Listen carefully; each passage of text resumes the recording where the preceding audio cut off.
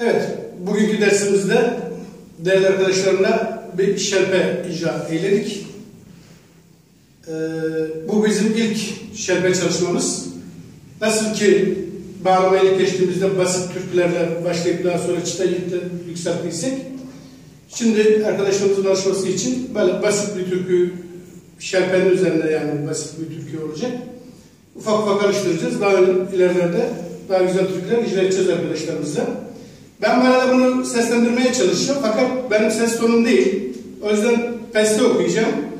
Ee, bazı yerlerde çıkabildiğim kadarıyla dike çıkacağım. Hatamız olursa bağışlayın. Dediğim gibi gaye burada arkadaşlara Türkiye'nin trafiğini tutturmak. O yüzden de eller ayakları birbirine dolaşmasın diye sözle sazla arkadaşımıza yön vermeye çalışacağız. Değil mi arkadaşlar? Hazır mıyız? Hadi bakalım başlayalım o zaman. 3 Так,